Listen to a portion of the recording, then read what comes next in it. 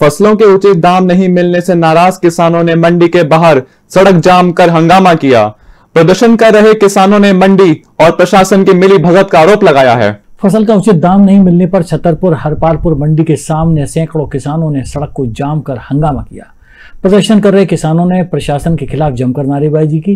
किसानों ने प्रशासन की मिली भगत का आरोप लगाया। प्रदर्शन की खबर मिलने पर पुलिस और तहसीलदार मौके पर पहुँचे और किसानों की समस्याएँ सुनकर किसानों को समझाती हुई जाम खुलवाया।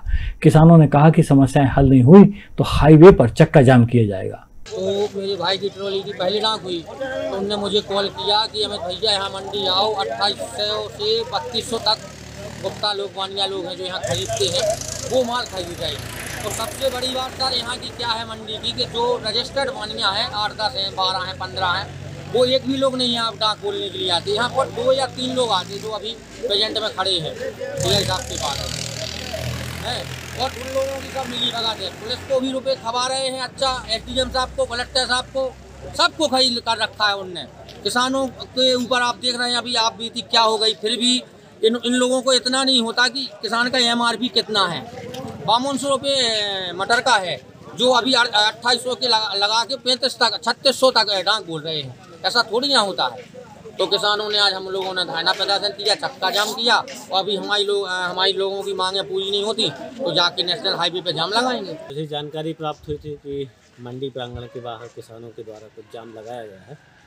तो थाना प्रभारी हरपालपुर के द्वारा जाम खुलवाने में सहयोग किया गया और किसानों के द्वारा भी सहयोग किया गया है। जो मटर है मटर के रेट को लेकर समस्या थी। किसानों का कहना ये था कि कुछ ही व्यापारी आते हैं और बहुत सीमित दाम बोलते हैं तो नीलामी हो जाती है। तो इसी संबंध में उनने अपनी समस्याएँ मुझे बताई। पुनः मैंने डांक चालू करवा दी है। किसानों की समस्याओं को भी ध्यान में दिया जाएगा व्यापारी की समस्याओं को भी ध्यान ध्यान में दिया जाएगा और दोनों के मध्य एक सामंजस्य बैठा के काम किया जाएगा ताकि हमारा किसान भी परेशान ना हो और व्यापारी ही परेशान ना हो। जाम खुल गया है। अब ऐसी कोई समस्या नहीं है।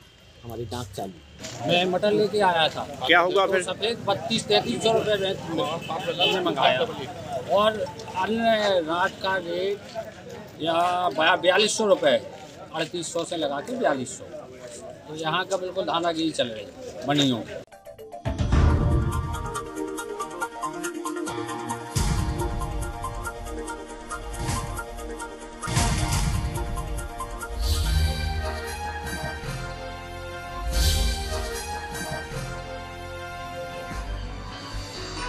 आप देख रहे हैं दखल न्यूज़।